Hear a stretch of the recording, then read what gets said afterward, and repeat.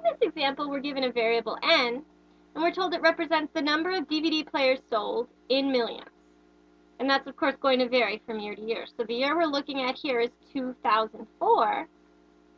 And they're telling us in 2004, the value of n is 4.2. And we want to interpret this, take a, take a sentence that's given in mathematical language, n equals 4.2, and explain what it means. We're going to essentially translate this mathematical equation into a sentence that would make sense in English.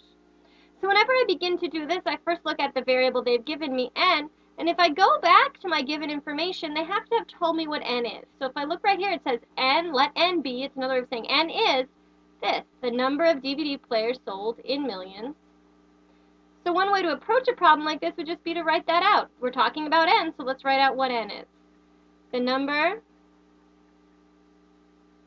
of DVD players sold. Let's see, DVD players.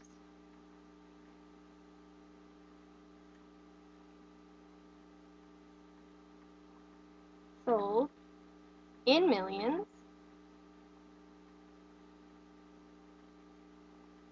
And then we see the symbol equals.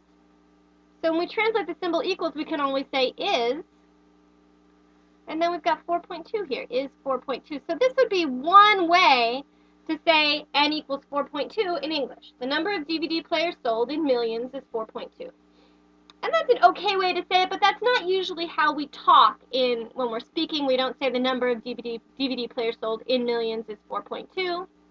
We'd usually probably say we'd combine these two phrases, right? That the in millions and the 4.2. So we probably would say the number of DVD, DVD players sold DVD players sold.